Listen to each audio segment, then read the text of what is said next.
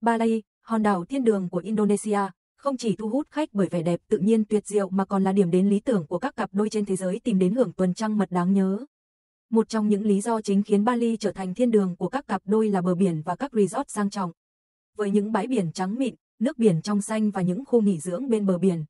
Đẹp mắt, Bali mang đến cho du khách không gian lãng mạn và yên bình.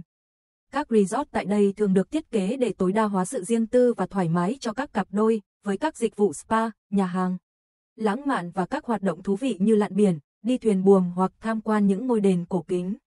Thứ hai, Bali còn được biết đến với văn hóa và lịch sử phong phú. Các đền thờ Hindu đặc trưng như Tanah Ulan Danu Bratan hay Biseki là những điểm đến thu hút sự quan tâm của những cặp đôi. Yêu thích khám phá và hiểu sâu hơn về nền văn hóa địa phương. Đặc biệt, ẩm thực Bali cũng là một trong những yếu tố thu hút du khách.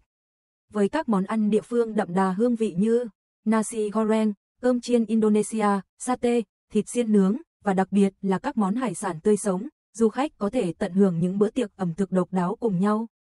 Cuối cùng, không thể không nhắc đến sự nổi tiếng của người dân Bali với sự nhiệt tình và thân thiện. Với tâm hồn hiếu khách và niềm đam mê văn hóa, người dân Bali luôn sẵn sàng chào đón và hỗ trợ. Cuối cùng, không thể không nhắc đến sự nổi tiếng của người dân Bali với sự nhiệt tình và thân thiện. Với tâm hồn hiếu khách và niềm đam mê văn hóa, người dân Bali luôn sẵn sàng chào đón và hỗ trợ.